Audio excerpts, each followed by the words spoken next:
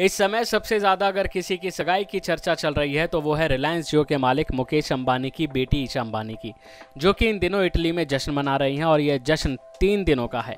आपको बता दें, सगाई का जश्न इटली के लेक कोमो में हुआ है। ईशा अंबानी और आनंद पीरामल की सगाई शाही अंदाज में धूमधाम से पूरी हुई। इस सेरेमनी में बॉलीवुड की दिग्गज हस्तियों ने इटली में डेरा जमाया हुआ है।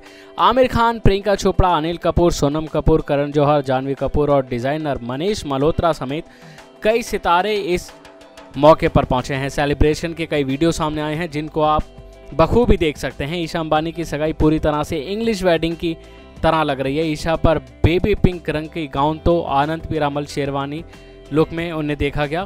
पिता मुकेश अंबानी का हाथ थाम कर ईशा वेन्यू में पहुँची और फिर आनंद उन्हें अपने साथ स्टेज पर ले बता दें इटली में कल भी जश्न होगा। इस पूरे सगाई में रिलायंस जियो के मालिक मुकेश अंबानी ने खूब खर्चा किया है।